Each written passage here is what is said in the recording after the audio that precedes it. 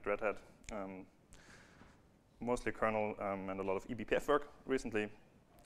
Um, I have a few notes up front. Um, I'm super happy to answer questions, um, but please keep them until the end and we can have also lively discussion about that. One thing, like the second thing, I designed a talk for an audience that is kind of knowledgeable in eBPF already, so it helps if you've already written eBPF, but hopefully you can follow along if you didn't so far. Um, the reason for that is that my goal of the talk is to show you new ways how you can improve EB your eBPF programs, so you can yeah, switch from writing small toy programs to like writing normal eBPF applications, like bigger ones where you can do more complex stuff.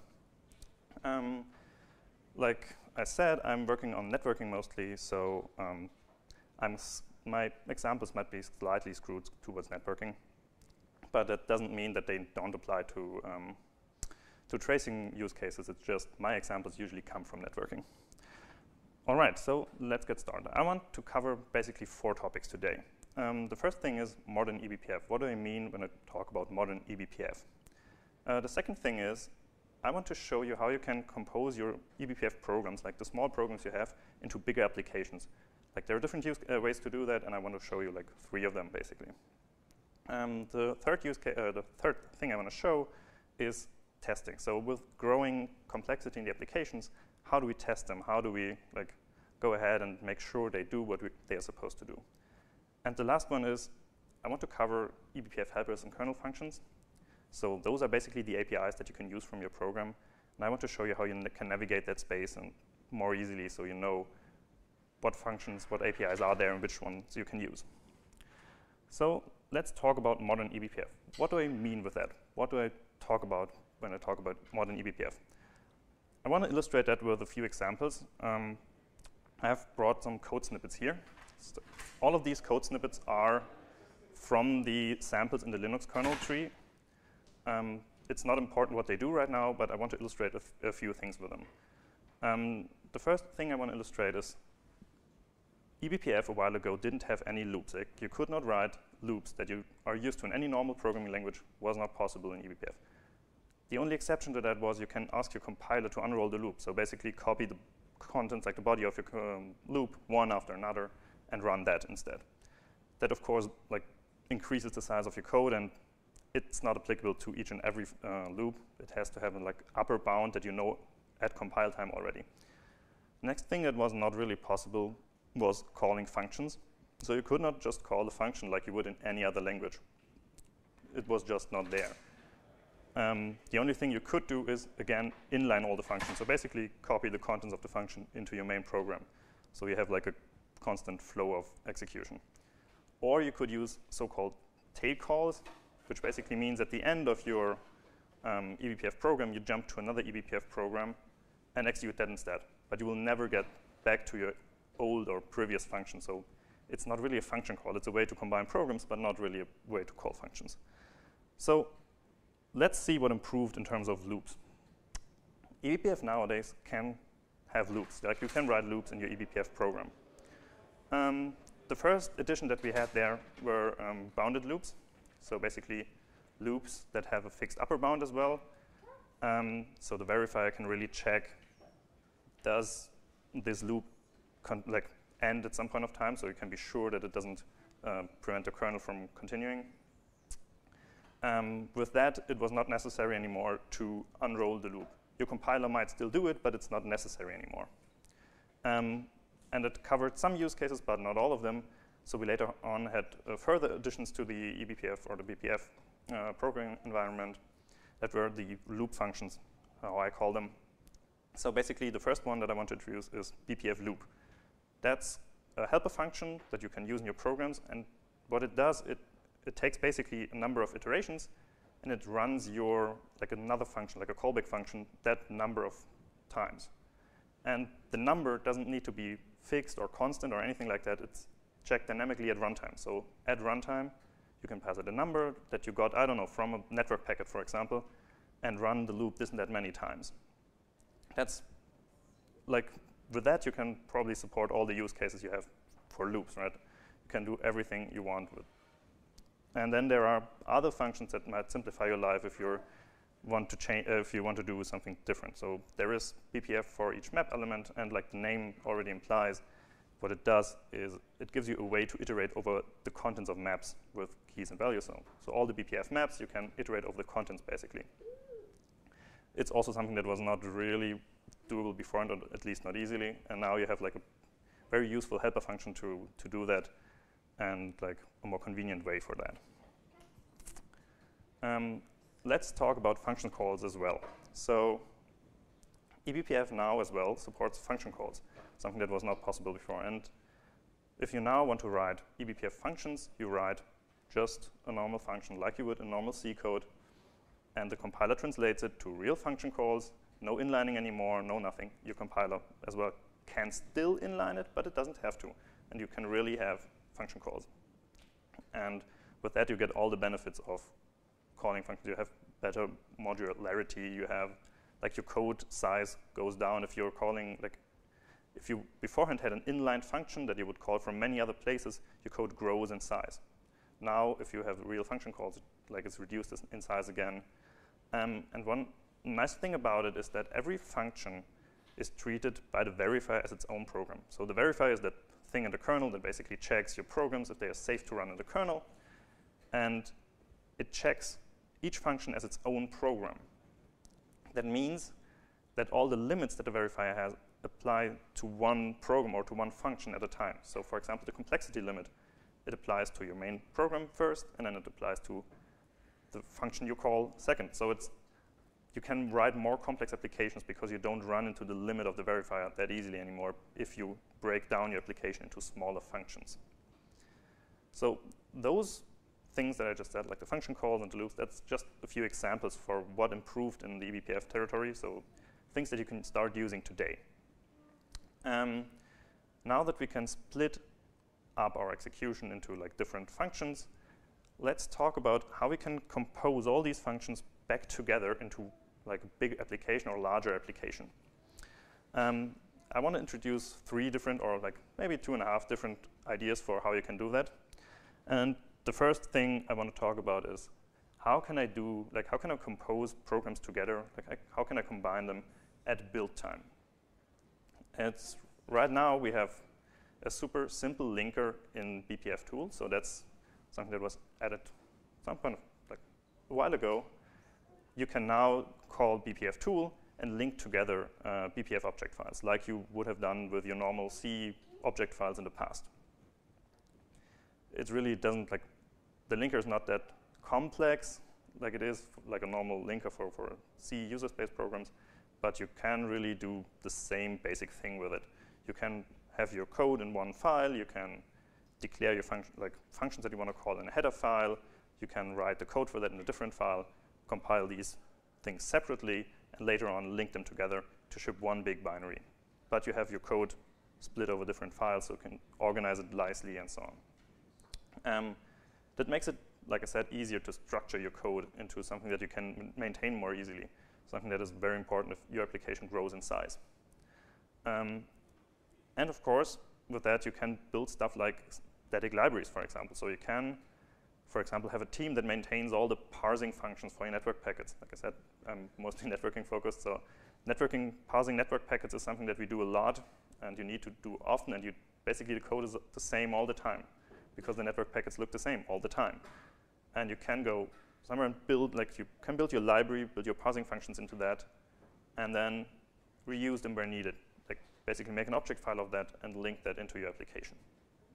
So that's a use case for, for like these linkers. Another thing is, imagine you don't have all the object files available at build time. Imagine you want to link stuff at load time or combine programs at load time. Um, the BPF tool functionality I just described is based on libbpf. Um, libbpf is that user space library that's there for basically all your BPF-related wishes. And it also exposes the linker functionality I just described to you as a program. So you can programmatically link BPF objects at load time, or just before you load the program into the kernel, you can just link it together and then load the result into the kernel. Um, one thing that I could imagine you could build with it is you could, for example, have your application built already and allow users to provide you with like their code. Imagine you have like a big networking application and you have one place where you could offer the user or the users of your program to collect statistics, for example. And they can provide you with an BPF object containing the program to generate the statistics and that they, they can extract from your program. And you can link that object into your application at load time so the user can really make use of eBPF functionality still after you have attached your uh, application. Um, so imagine something like a plugin system in easy terms, right? Um, the next thing I want to talk about is a bit more brittle, to be honest. It's called freplace. So imagine you have a program that you've already attached, that you've already loaded into the kernel, and you want to change parts of that program. So there's a functionality called freplace. It's available via syscall. It's available from uh, libbpf as well. And it allows you to like swap out functions or subprograms of your application that are already there. So you can, even if the thing is already attached at runtime, just replace a function of it and basically put in your new code. Um, it's a super powerful concept. Like you can do a lot of different things. I've seen people doing interesting uh, things with that. Um, but you have to be kind of careful because it's not it's not as usable as other features from BPF. Um, the first or the main restriction is you cannot use it recursively. So in your whole call stack, like in your whole function stack, you can only have one function that got f replaced at some point of time. You cannot have multiple of them. So as soon as you, have used it once in your stack, you should not use it somewhere else in the stack. You can still replace that same function again and again, but you cannot replace something up in the stack or lower in the stack. Um, and that combined with another kind of feature. So this functionality freplace is often used in infrastructure, like libxdp, for example, uses that to attach multiple XDP programs to one network interface. That's something that the kernel doesn't provide, but libxdp allows you to do that. And that's based on the, libx, uh, on the freplace functionality, for example. So if you're writing XDP programs, you can probably not ever use freplace because libxdp already does that thing. So freplace is something you want to use in your in your infrastructure maybe if you're building infrastructure for the BPF ecosystem. That's an interesting thing to use and to know about, but it might be not that useful in, in your applications. I wanted to show it anyways because it's super powerful. And if you're reaching like the limits of what you can do with the other method I showed before, maybe freplace is the thing you need to really get forward. So be sure it is there, but be careful when you're using it. Um, next up, when we combine programs at runtime, load time, whatever, so we're building more complex applications out of our programs, um, we want to make sure that those applications do what they are supposed to do. Um, so let's jump to testing. There is a way that probably a lot of you already know if you're using eBPF or if you're developing an eBPF, and that's you're basically running your full application in some environment to test it, right? So in, in networking, it's usually a combination of network namespaces, uh, virtual Ethernet pairs, shell scripts, bridges, and so on. And you basically set up uh, a network within, like a virtual network within your computer, have the different uh, namespaces, and you run your application inside that, um, yeah, inside that those namespaces basically. Um, that's cool thing. Like I've written here, it's used in self-tests, it's used, it's used in demos, I've seen it used for examples as well. Um, so it's, it's a pretty simple thing, actually, right? You can just set up your network and just run your application within that network that you set up. Kind of difficult is how do you observe if your application is really doing the right thing, right? So you cannot test your application directly, but what you're doing in networking, for example, you're usually just sending traffic to, through your application and see if it does the thing you expect. And if, I don't know, the traffic is dropped in between, do you know why it dropped? You don't know. It's just not there anymore. And then you start looking, so where's the issue coming from? Is it coming from my application? Is it coming from, I don't know, some setup issues? Is it, if I run this same script on another system, is everything in the same place that I expect it to be? All these different issues that you get. if you're just basically running testing on your on your main machine.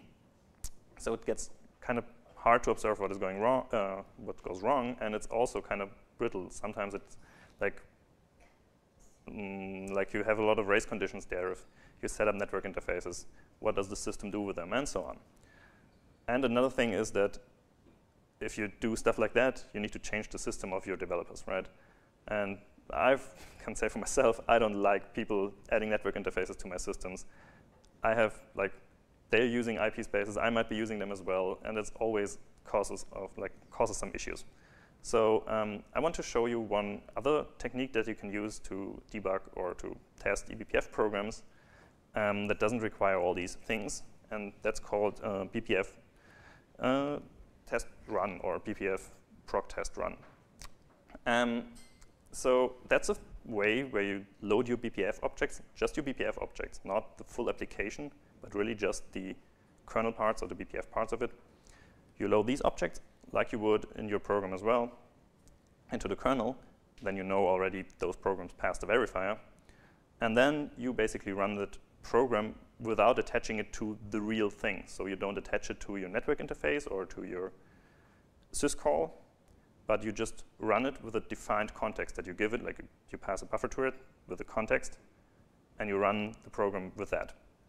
So you can think of it like unit testing for a BPF program. You take the BPF program, give it a defined input, and run it and observe the output. Um, that's, of course, super useful for network programs where the context is super simple. It's usually just a network packet.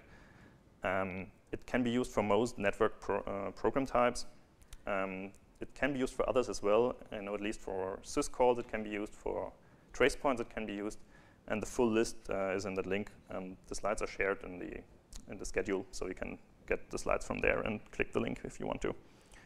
Um, the, I want to quickly give you some hints on how to use it because the documentation, as some parts of the BPF documentation are, are, is pretty sparse.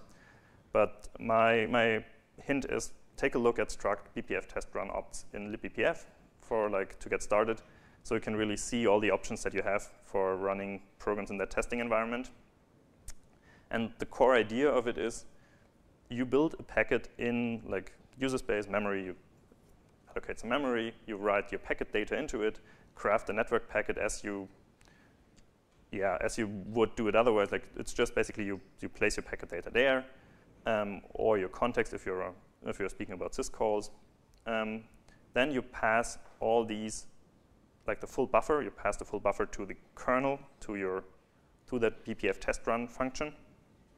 And the kernel then continues to execute the BPF program in the kernel. So it's not like running in user space or anything, it's really running in the kernel on your buffer if you ask it to, it can run the program repeatedly. So that's, that's interesting, for example, for, for benchmarking reasons, if you want to run multiple times. And after the execution, the kernel returns the result of your um, of the execution. So it returns, for example, the modified network packet, if you're speaking about that. It returns the, the usual return value of your program. Um, so you know what would have happened if that thing was uh, like being run in the kernel at like a normal hook. And for benchmarking reasons, it returns the average runtime as well. So it's a pretty nice thing that you can use for unit testing, like I said, for benchmarking as well, especially for networking where you have like programs that are usually time sensitive, so you want to process the packets quickly. So that's why you can use it for benchmarking as well. Um, so next, I want to talk about the eBPF helpers and kernel functions. Um, those are basically all the APIs that you can use from your application. Um, it's, it's basically a set of functions that you can call. Right? And for you as a developer, it doesn't make a difference if you're calling a BPF helper or a kernel function or kfunc. That's, that's not different. It looks the same. It's just a function call. Um, the difference for you as a developer is that BPF helpers are part of the stable user space API of the Linux kernel. So there is a man page documenting them, and that's part of the stable API. So that will not change in a backwards incompatible way. So your programs using BPF helpers will always, like if they run on a current kernel, they will run on a new kernel as well.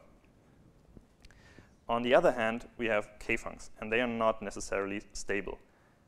there are some lifecycle guarantees attached to them, like they should follow some rules, and those rules roughly boil down to we don't want to change them without a reasonable justification, and we don't want to remove them without reasonable justification. And there should be a deprecation period if we want to remove them, but it's not guaranteed. So if, if we see there is an issue with those functions and it's reasonably bad, that issue, then we can just remove the function or the kfunc. So it, if you want to use kfuncs, it's a bit more of testing you should put into place when you are when new kernel versions are released, or at least check if the functions are still there and if they still work in the same way. Um, sometimes these help uh, like these kfuncs are also explicitly unstable. So there are functions that are explicitly unstable. One example for that is currently um, connection, like conntrack access. You can access the conntrack table from your uh, BPF program, and that thing is currently explicitly labeled as unstable. So you, well, be careful when using it. That's the, the main takeaway from that. Um, the list of helpers and the list of kernel functions is basically growing with every release. So it's hard to like take a snapshot in time and say like this is what you can do because it changes like from release to release. There are new functions added, new functionality that you can call from your uh, BPF programs. Um, and I want to quickly show you how you could navigate that space. So how you could um, find your way around and how you can find out which functions you can call and which ones are available. So for BPF helpers, it's kind of easy. So there is the there's a man page that's called BPF helpers, and you can just type man BPF helpers, and you should get a long list of functions that you can use. And I invite you to just step through that once and see what's available. The functions are somewhat descriptive, like the names are somewhat descriptive, so you can at least guess which area of functions are available. Um, I would not want to guarantee that everything is documented in that man page. So there is this uh, header file that I linked here or that I, where I showed the path here. You can go to that uh, mm, header file and take a look. So all the functions must be in there that you, like all the BPF helpers must be in there that you can use. Um, for kernel functions or kfuncs, it's not that easy. There is no man page documenting all of them. Um, so in the end, it boils down to you need to look at the kernel source if you want to know which kernel functions or kfuncs you can use. Um, some of them are documented in the normal kernel documentation, but not all of them. So a lot of them are basically only viewable if you look at the kernel source. Um, but one nice thing is all of these kfuncs should be marked with underscore underscore bpf kfunc.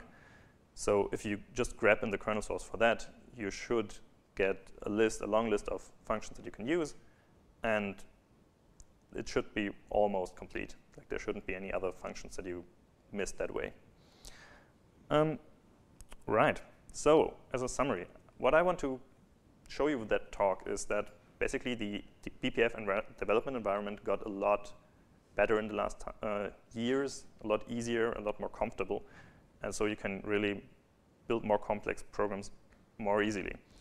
Um, and one particular nice thing about everything that I show today is um, these features are not um, yeah, th these are not from like yesterday's kernel. They are not super bleeding edge, but they are present in kernel for a while already. So if you have a reasonably uh, recent distribution or Linux distribution, you can use these features today in your program. Like if you target something that is somewhat current, you can use it today and you don't have to wait for the next two years for those uh, functions to arrive and for those features to arrive. And um, yeah, with that, I want to thank you for your attention. And if you have any questions, um, please go ahead. Sure. Thanks for the talk. Uh, about F replays. Mm -hmm. So correct me if I'm wrong. So this is happening at a runtime, right? And uh, previously you mentioned that uh, now at the modern eBPF, we don't we're not bounded by the loops, so you can have unbounded loops. So is it correct to say that F replays can have now uh, that, I mean, if it's having a runtime, so you don't need an upper bound and lower bound. So you can have uh, a number of loops which are not bounded by the iterations. Is it? Um, so the question is basically if we can kind of escape with freplace and the loops, like the unbounded loops, if we can escape kind of the limitation that it has to stop at some point of time.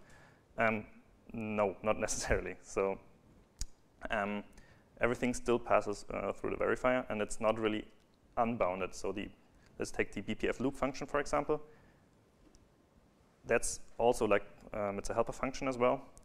So that's code that is not within your BPF program, and you don't control it, but the code that iteratively calls your callback function is part of the kernel.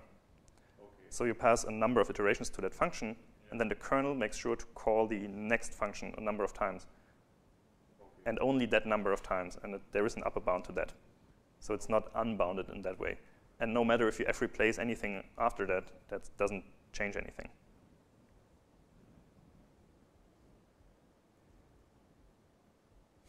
I can ask one. Yeah, you go ahead. What's the reason that kfuncs is not documented? I mean, it, it's like Linux is a huge code base. Uh, is it an open issue that people are documenting kfuncs because? Um, so what I can add there, it's, it's not that they're not documented at all. Okay. It's just not, like, the documentation is not exposed. Like, you don't see, like, it's not in the normal kernel documentation, for example, that's rendered online. But if you search for kfuncs, like the BPF kfunc thing in the kernel, then usually these functions have some kind of annotations on top of them saying, like, this function does this and that, those are the parameters. So it's not completely undocumented, um, but it's not openly documented in a like online rendered way.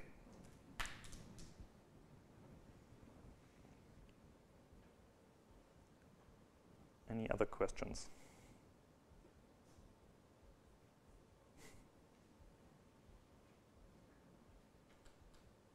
How many people were watching cat videos? Okay, Oh, thank yep, you. no, no, no, no, oh, oh, oh, oh, one hand. Sure, go ahead. So, like, in like a sentence or something, what's like, so these new building blocks that have been given, what's an example of like how they're being exploited, like for, from a user perspective, like what's enabled that wasn't possible before? So uh, he was asking for one sentence, basically, what you can do now, what was not possible for. Yeah, or an example for that. Um, so for me, the most interesting things are, mm, let's say, these composability things. So you can um, build more complex applications, and really, you're not bound to the strict rule. I build my program first, and then I load into the kernel anymore. So you can really change at runtime what is going on, in, like in the most extreme case. And what is possible through that is, for example, what I told beforehand, the libxdp, so the library that's used for interaction with XDP programs, they found a way to attach multiple XDP programs to one interface using freplace. And beforehand, there was a one-to-one mapping. Like your network interface could have had one XDP program, you could run it, but that's it. And they made it possible that multiple programs can attach different programs to the same interface. That's, for example, something that is enabled by these new functionalities.